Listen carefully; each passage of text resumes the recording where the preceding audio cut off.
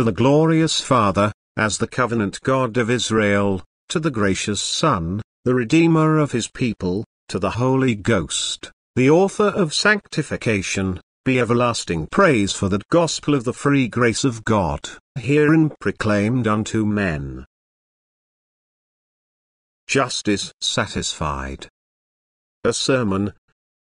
Number 255. Delivered on Sabbath morning, May 29, 1859, by the Reverend C. H. Spurgeon. At the Music Hall. Royal Surrey Gardens. Just, and the justifier of him which believeth in Jesus. Romans 3, 26. Just to forgive us our sins, and to cleanse us from all unrighteousness. 1 John 1, 9. When the soul is seriously impressed with the conviction of its guilt, when terror and alarm get hold upon it concerning the inevitable consequences of its sin, the soul is afraid of God. It dreads at that time every attribute of divinity. But most of all the sinner is afraid of God's justice. Ah, saith he to himself, God is a just God, and if so, how can he pardon my sins? For my iniquities cry aloud for punishment and my transgressions demand that his right hand should smite me low. How can I be saved? Were God unjust, he might forgive, but, alas! He is not so, he is severely just. He layeth justice to the line, and righteousness to the plummet. He is the judge of all the earth, and he must do right. How then can I escape from his righteous wrath which must be stirred up against me? Let us be assured that the sinner is quite right in the conviction that there is here a great difficulty. The justice of God is in itself a great barrier to the salvation of sinners. There is no possibility for that barrier to be surmounted, nor even for it to be removed except by one means, which shall this day be proclaimed unto you through the gospel of Jesus Christ our Lord. It is true that God is just, let old Sodom tell you how God rained fire and brimstone out of heaven upon man's iniquity. Let a drowning world tell you how God lifted the sluices of the fountains of the great deep, and bade the bubbling waters spring up and swallow up man alive. Let the earth tell you, for she opened her mouth when Korah, Dathan, and Abiram rebelled against God. Let the buried cities of Nineveh, and the tattered relics of Tyre and Sidon, tell you that God is just, and will by no means spare the guilty. And direst of all, let hell's bottomless lake declare what is the awful vengeance of God against the sins of man. Let the sighs, and groans, and moans, and shrieks of spirits condemned of God, rise in your ears, and bear witness that he is a God who will not spare the guilty who will not wink at iniquity, transgression, and sin, but who will have vengeance upon every rebel, and will give justice its full satisfaction for every offense. The sinner is right in his conviction that God is just, and he is moreover right in the inference which follows from it, that because God is just his sin must be punished. Ah, sinner, if God punish not thy sin, he has ceased to be what he has always been, the severely just, the inflexibly righteous. Never has there been a sin pardoned, absolutely and without atonement, since the world began. There has never been an offense yet remitted by the great Judge of heaven, until the law has received the fullest vindication. You are right, O convicted sinner, that such shall be the case even to the end. Every transgression shall have its just recompense of reward. For every offence there shall be its stroke, and for every iniquity there shall be its doom. Ah, now says the sinner, then I am shut out of heaven. If God be just and he must punish sin, then what can I do? Justice, like some dark angel, strides across the road of mercy, and with his sword drawn, athirst for blood and winged to slay, he strides across my path, and threatens to drive me backwards over the precipice of death into the ever-burning lake. Sinner, thou art right, it is even so. Except through the gospel which I am about to preach to thee, justice is thine antagonist, thy lawful, irresistible, an insatiable enemy. It cannot suffer thee to enter heaven, for thou hast sinned, and punished that sin must be, avenged that transgression must be, as long as God is God, the holy and the just. Is it possible, then, that the sinner cannot be saved? This is the great riddle of the law, and the grand discovery of the gospel. Wonder ye heavens! Be astonished O earth! That very justice which stood in the sinner's way and prevented his being pardoned, has been by the gospel of Christ appeased, by the rich atonement offered upon Calvary, justice is satisfied, has sheathed its sword, and has now not a word to say against the pardon of the penitent. Nay, more, the justice once so angry, whose brow was lightning, and whose voice was thunder, has now become the sinner's advocate, and itself with its mighty voice pleads with God, that whosoever confesses his sin should be pardoned and be cleansed from all unrighteousness. The business of this morning shall be to show, in the first place, according to the first text, how justice is no longer the sinner's enemy. God is just, and yet the justifier of him that believeth, and then, in the second place, that justice has become the sinner's advocate, and that God is faithful and just to forgive us our sins, and to cleanse us from all unrighteousness. But here let me utter a caution, I shall speak this morning, only to those who feel their guilt, and who are ready to confess their sin. For to those who still love sin, and will not acknowledge their guilt, there is no promise of mercy or pardon. For them there remains nothing but the fearful looking for of judgment. He that being often reproved hardeneth his heart shall suddenly be destroyed, and that without remedy.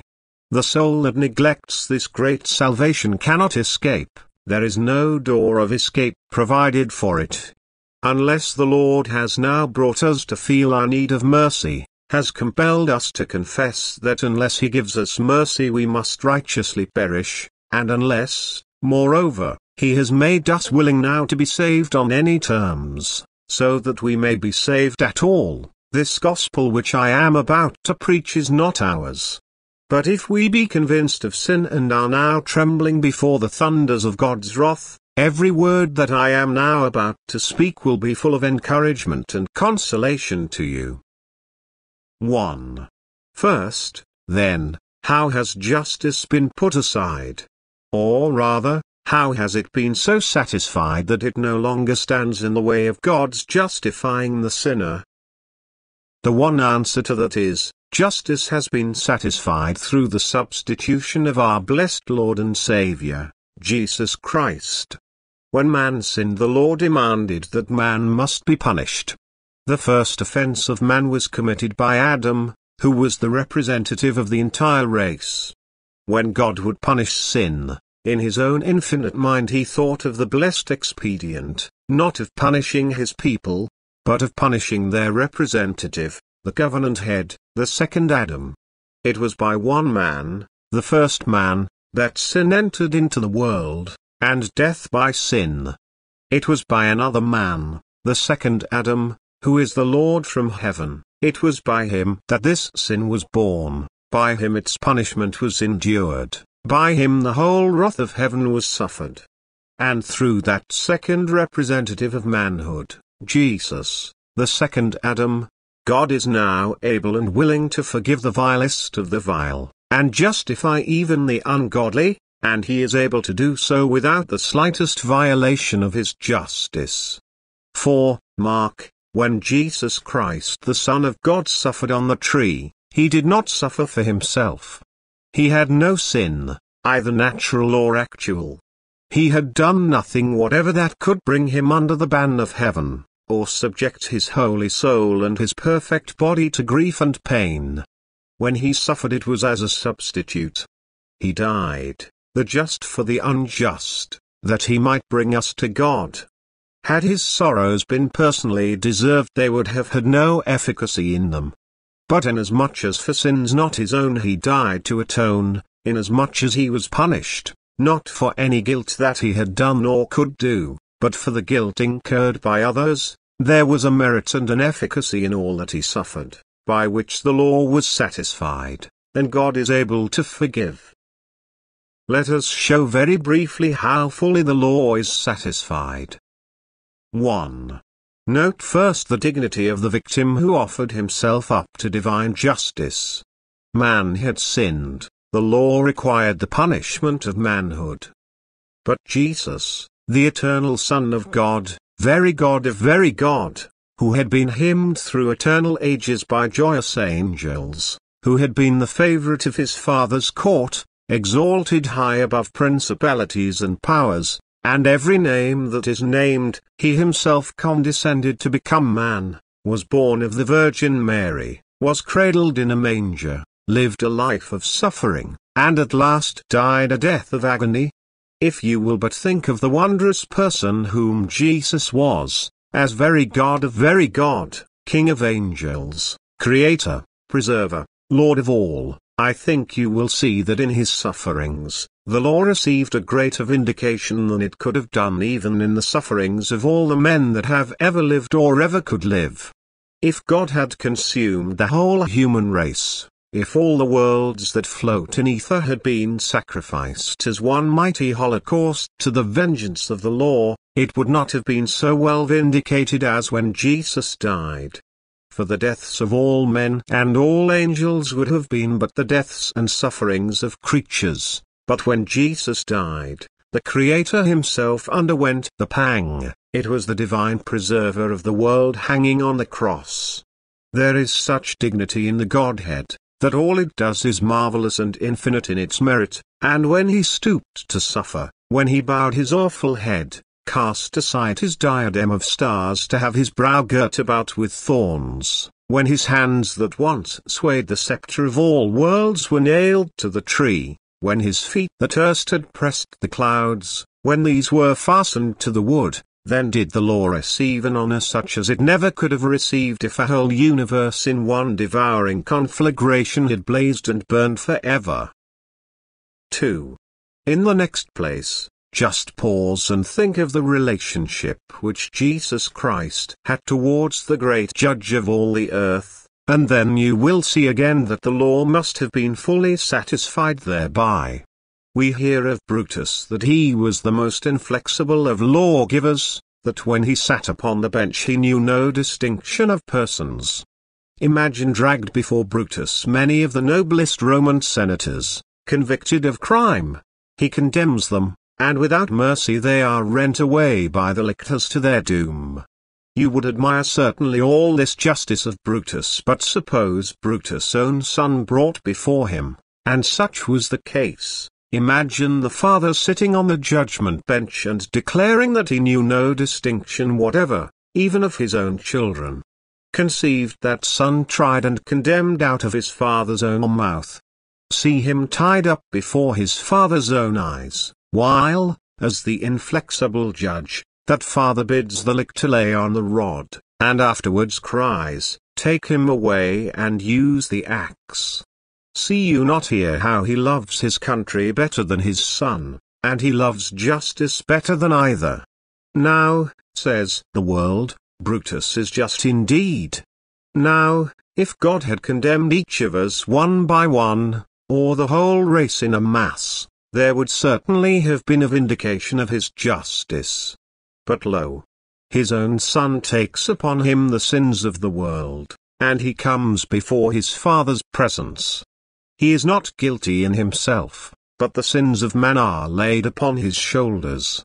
The Father condemns his Son, he gives him up to the Roman rod, he gives him up to Jewish mockery, to military scorn, and to priestly arrogance. He delivers up his son to the executioner, and bids him nail him to the tree, and as if that were not enough, since the creature had not power of itself to give forth all the vengeance of God upon its own substitute, God himself smites his son. Are you staggered at such an expression? It is scriptural. Read in the 53rd chapter of Isaiah, and the you have the proof thereof, it pleased the Lord to bruise him, he hath put him to grief. When the whip had gone round to every hand, when the betrayer had smitten him, when Pilate and Herod, and Jew and Gentile, had each laid on the stroke, it was seen that human arm was not powerful enough to execute the full vengeance, then did the Father take his sword, and cry, Awake! O sword, against my shepherd, against the man that is my fellow, and he smote him sternly, as if he had been his enemy, as if he were a common culprit, as if he were the worst of criminals, he smote him again and again, till that awful shriek was forced from the lips of the dying substitute, Eloi, Eloi, lama sabachthani, my God, my God, why hast thou forsaken me? Surely, when God smites his son, and such a son, when God smites his only begotten and well-beloved, then justice has more than its due, more than itself could ask, Christ himself did freely give. 3. Furthermore, if you will please for a moment to consider how terrible were the agonies of Christ, which, mark you, he endured in the room, the place, the stead of all poor penitent sinners, of all those who confess their sins and believe in him, I say, when you mark these agonies, you will readily see why justice does not stand in the sinner's way. Doth justice come to thee this morning, and say, Sinner, thou hast sinned, I will punish thee? Answer thus, Justice, thou hast punished all my sins. All I ought to have suffered has been suffered by my substitute, Jesus. It is true that in myself I owe thee a debt greater than I can pay, but it is true that in Christ I owe thee nothing, for all I did owe is paid, every farthing of it, the utmost dram has been counted down. Not a doit remains that is due from me to thee, O thou avenging justice of God. But if justice still accuse, and conscience clamour, go thou and take justice with thee to Gethsemane, and stand there with it, see that man so oppressed with grief, that all his head, his hair, his garments bloody be. Sin was a press, a vice which forced his blood from every vein, and wrapped him in a sheet of his own blood. Dost see that man there? Canst hear his groans, his cries, his earnest intercessions, his strong crying and tears? Canst mark that clotted sweat as it crimsons the frozen soil, strong enough to unloose the curse?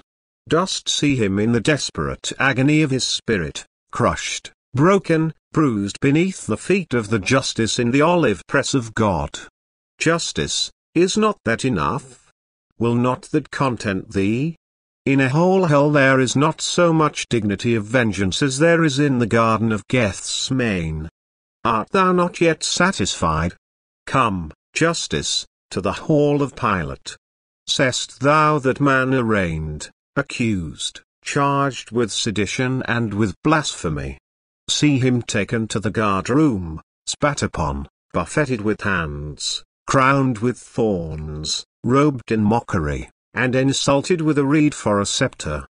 I say, Justice, sayest thou that man, and dost thou know that he is God over all blessed for ever? And yet he endureth all this to satisfy thy demands. Art thou not content with that? Dost thou still frown? Let me show thee this man on the pavement. He is stripped. Stand, justice, and listen to those stripes, those bloody scourges, and as they fall upon his devoted back and plough deep furrows there, dost thou see thongful after thongful of his quivering flesh torn from his poor bare back? Art not content yet, justice? Then what will satisfy thee? Nothing, says justice, but his death.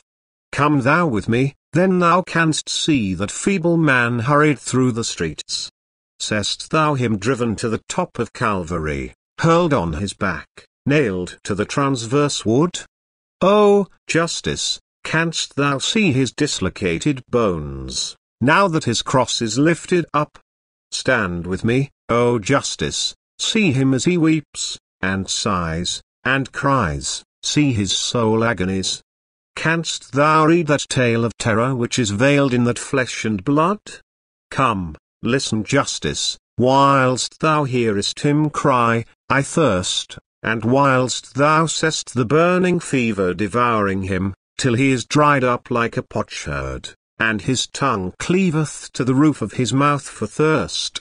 And lastly, O justice, dost thou see him bow his head, and die? Yes, saith justice, and I am satisfied, I have nothing that I can ask more, I am fully content, my uttermost demands are more than satisfied. And am I not content, too? Guilty though I am and vile, can I not plead that this bloody sacrifice is enough to satisfy God's demands against me? Oh, yes, I trust I can. My faith doth lay its hand on that dear head of thine. While like a penitent I stand, and here confess my sin. Jesus, I believe that they sufferings were for me. And I believe that they are more than enough to satisfy for all my sins. By faith I cast myself at the foot of thy cross and cling to it. This is my only hope, my shelter, and my shield. It cannot be, that God can smite me now. Justice itself prevents, for when justice once is satisfied it were injustice if it should ask for more. Now, is it not clear enough to the eye of everyone, whose soul has been aroused, that justice stands no longer in the way of the sinner's pardon? God can be just, and yet the justifier. He has punished Christ, why should he punish twice for one offense? Christ has died for all his people's sins, and if thou art in the covenant, thou art one of Christ's people. Damn thou canst not be. Suffer for thy sins thou canst not. Until God can be unjust, and demand two payments for one debt, he cannot destroy the soul for whom Jesus died. Away goes universal redemption, says one. Yes, away it goes, indeed. I am sure there is nothing about that in the Word of God. A redemption that does not redeem is not worth my preaching, or your hearing. Christ redeemed every soul that is saved, no more, and no less. Every spirit that shall be seen in heaven Christ bought. If he had redeemed those in hell, they never could have come there. He has bought his people with his blood, and they alone shall he bring with him. But who are they? Says one. Thou art one if thou believest. Thou art one if thou repentest of thy sin. If thou wilt now take Christ to be thy all in all, then thou art one of his, for the covenant must prove a lie, and God must be unjust, and justice must become unrighteousness, and love must become cruelty, and the cross must become a fiction, ere thou canst be condemned if thou trustest in Jesus. This is the way in which justice ceases to be the enemy of souls. 2. The second text says that not only can God be just, but it says something more. It says, if we confess our sins, he is faithful and just to forgive us our sins, and to cleanse us from all unrighteousness. Now, if I understand this text, it means this, that it is an act of justice on God's part to forgive the sinner. Who makes a confession of his sin to God. Mark. Not that the sinner deserves forgiveness, that can never be. Sin can never merit anything but punishment, and repentance is no atonement for sin. Not that God is bound from any necessity of his nature to forgive everyone that repents, because repentance has not in itself sufficient efficacy and power to merit forgiveness at the hand of God. Yet, nevertheless, it is a truth that, because God is just, he must forgive every sinner who confesses his sin. And if he did not, and mark, it is a bold thing to say, but it is warranted by the text, if a sinner should be led truly and solemnly to make confession of his sins and cast himself on Christ, if God did not forgive him, then he were not the God that he is represented to be in the Word of God, he were a God unjust, and that may God forbid, such a thing must not, cannot be. But how, then, is it that justice itself actually demands that every soul that repents should be pardoned? It is so. The same justice that just now stood with a fiery sword in his hand, like the cherubim of old keeping the way of the tree of life, now goes hand in hand with the sinner. Sinner, he says, I will go with thee. When thou goest to plead for pardon I will go and plead for thee. Once I spoke against thee, but now I am so satisfied with what Christ has done, that I will go with thee and plead for thee. I will change my language I will not say a word to oppose thy pardon, but I will go with thee and demand it. It is but an act of justice that God should now forgive. And the sinner goes up with justice, and what has justice got to say? Why, it says this, God must forgive the repenting sinner, if he be just, according to his promise. A God who could break his promise were unjust. We do not believe in men who tell us lies. I have known some of so gentle a disposition, that they could never say no, if they were asked to do a thing they have said, yes. But they have never earned a character for it, when they have said yes, and afterwards did not fulfill. It is not so with God. He is no tender-hearted being who promises more than he can perform and no forgetful one who promises what afterwards shall slip from his memory.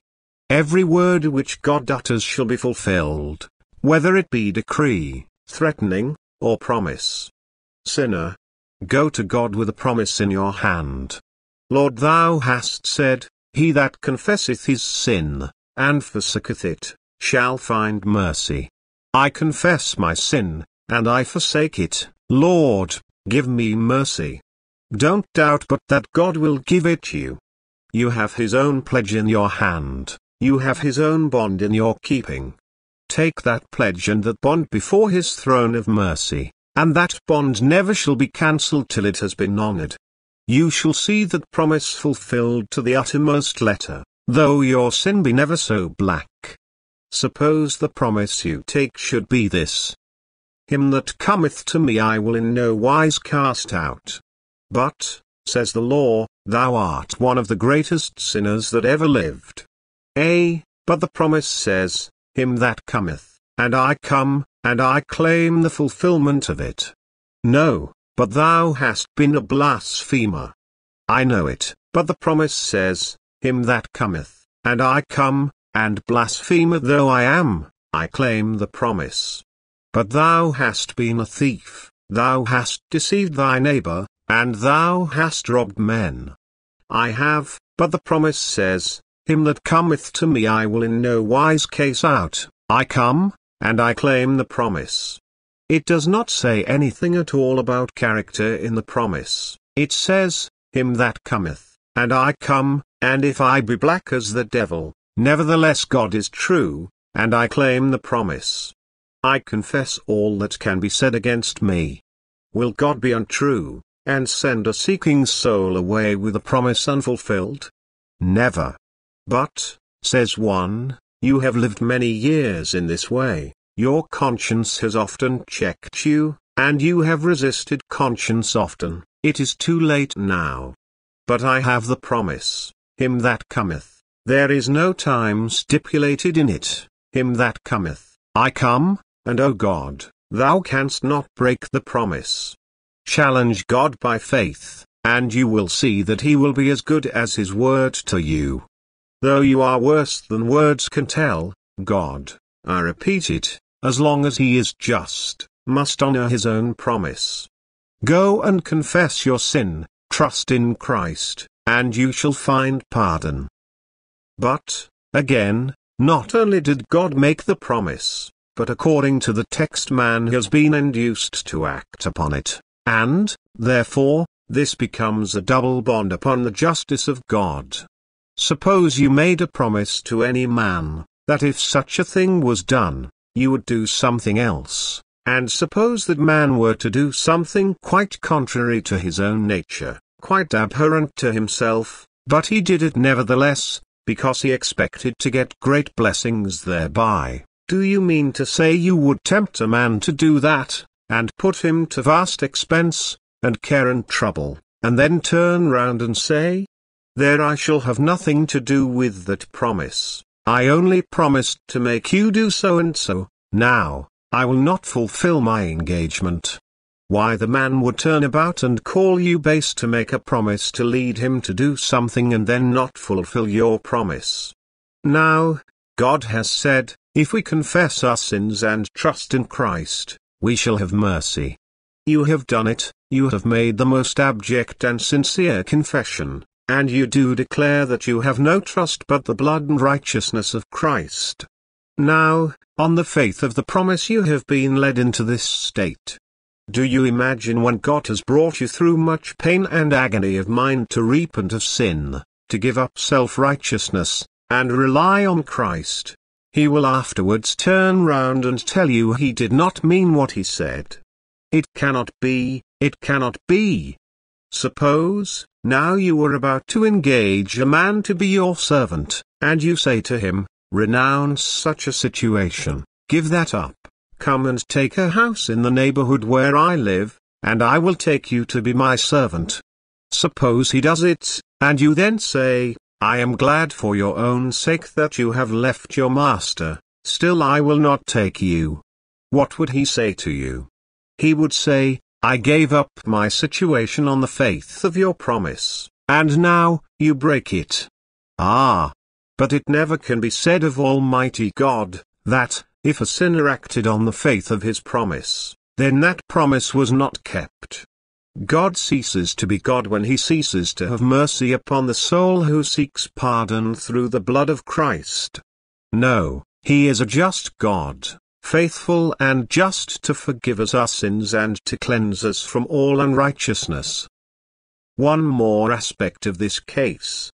God's justice demands that the sinner should be forgiven if he seeks mercy, for this reason, Christ died on purpose to secure pardon for every seeking soul. Now, I hold it to be an axiom, a self-evident truth, that whatever Christ died for he will have. I cannot believe that when he paid to his Father the price of blood, and groans and tears, he bought something which the Father will not give him. Now, Christ died to purchase the pardon of sin for all those who believe on him, and do you suppose that the Father will rob him of that which he has bought so dearly? No, God were untrue to his own Son, he would break his oath to his well-beloved and only begotten Son, if he were not to give pardon, peace, and purity to every soul that comes to God through Jesus Christ our Lord. Oh, I would that I could preach it as with a tongue of thunder everywhere. God is just and yet the justifier of him that believeth. God is just to forgive us our sins, if we confess them, just to cleanse us from all unrighteousness. 3. Now, to close. I must just enter into some little explanation of the two great duties that are taught in the two texts. Tile first duty is faith, believeth in Christ, the second text is confession, if we confess our sins. I will begin with confession first. Expect not that God will forgive you until you confess, not in the general confession of a prayer book, but in the particular confession of your own inmost heart. You are not to confess to a priest or a man, unless you have offended against him. In that respect, if you have been an offender against any man, be at peace with him and ask his pardon for aught you have done against him. It is a proof of a noble mind when you can ask pardon of another for having done amiss. Whenever grace comes into the heart it will lead you to make amends for any injury which you have done either by word or deed to any of your fellow men, and you cannot expect that you shall be forgiven of God until you have forgiven men, and have been ready to make peace with those who are now your enemies. That is a beautiful trait in the character of a true Christian. I have heard of Mr. John Wesley, that he was attended in most of his journeyings by one who loved him very much, and was willing, I believe, to have died for him. Still he was a man of a very stubborn and obstinate disposition, and Mr. Wesley was not perhaps the very kindest man at all times. Upon one occasion he said to this man, Joseph, take these letters to the post. I will take them after preaching, sir. Take them now, Joseph, said Mr. Wesley. I wish to hear you preach, sir, and there will be sufficient time for the post after service. I insist upon your going now, Joseph. I will not go at present you won't. No, sir. Then you and I must part, said Mr. Wesley. Very good, sir. The good men slept over it. Both were early risers, at four o'clock the next morning, the refractory helper was accosted with, Joseph, have you considered what I said, that we must part? Yes, sir. And must we part? Please yourself, sir. Will you ask my pardon, Joseph? No, sir. You won't? No, sir. Then I will ask yours, Joseph. Poor Joseph was instantly melted, and they were at once reconciled. When once the grace of God has entered the heart, a man ought to be ready to seek forgiveness for an injury done to another. There is nothing wrong in a man confessing an offense against a fellow man, and asking pardon for the wrong he has done him. It you have done naught, then, against any man, leave thy gift before the altar, and go and make peace with him, and then come and make peace with God. You are to make confession of your sin to God. Let that be humble and sincere. You cannot mention every offense, but do not hide one. If you hide one it will be a millstone round your neck to sink you into the lowest hell. Confess that you are vile in your nature, evil in your practice, that in you there is no good thing. Lie as low as ever you can at the footstool of divine grace, and confess that you are a wretch undone unless God have mercy upon you. Then, the next duty is faith. Whilst thou art lying there in the dust turn thine eye to Christ and say, Black as I am, and hell deserving as I confess myself to be, I believe that Jesus Christ died for the penitent, and inasmuch as he died, he died that the penitent might not die. I believe thy merits to be great, I believe thy blood to be efficacious, and more than that, I risk my eternal salvation, and yet it is no risk, I venture my eternal salvation upon the merit of thy blood. Jesus, I cannot save myself. Cast the skirts of thy blood-red atonement over me. Come, take me in thine arms, come, wrap me in thy crimson vest, and tell me I am thine. I will trust in nothing else but thee. Nothing I can do or ever did shall be my dependence. I rely simply and entirely upon thy mighty cross, upon which thou didst die for sinners. My dear hearers, as to any probability of your being lost after such a confession and such a faith, I assure you there is neither possibility nor probability thereof. You are saved, you are saved in time, you are saved in eternity. Your sins are forgiven, your iniquities are all put away. In this life you shall be fed, and blessed and kept. Remaining sin within you shall be overcome and conquered, and you shall see his face at the last in glory everlasting, when he shall come in the glory of his Father, and all his holy angels with him. Whosoever believeth on the Son of God hath eternal life, and shall never come into condemnation. He that believeth on the Lord Jesus and is baptized, shall be saved, and he that believeth not shall be damned. And now in conclusion, I have tried to tell out simply and plainly the story of how God's justice is satisfied, and has become the sinner's friend, and I look for fruit, for where the gospel is simply preached it is never preached in vain. Only let us go home and pray now, that we may know the Saviour. let us pray that others may know him too. If you are convinced of sin, my dear friends, do not lose a moment.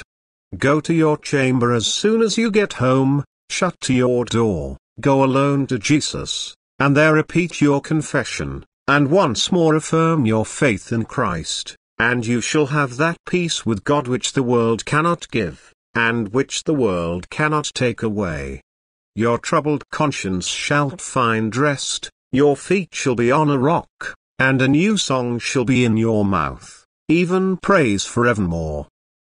From whence this fear and unbelief? Hast thou, O Father, put to grief thy spotless Son for me? And will the righteous judge of men condemn me for that debt of sin? Which, Lord, was charged on thee. Complete atonement thou hast made. And to the utmost farthing paid. Way to thy people owed, how then can wrath on me take place? If sheltered in thy righteousness, and sprinkled with thy blood? If thou hast my discharge procured, and freely, in my room, endured the whole of wrath divine, payment God cannot twice demand. First, at my bleeding surety's hand, and then again at mine. Turn, then, my soul unto thy rest. The merits of thy great high priest. Speak peace and liberty. Trust in his efficacious blood. Nor fear thy banishment from God. Since Jesus died for thee,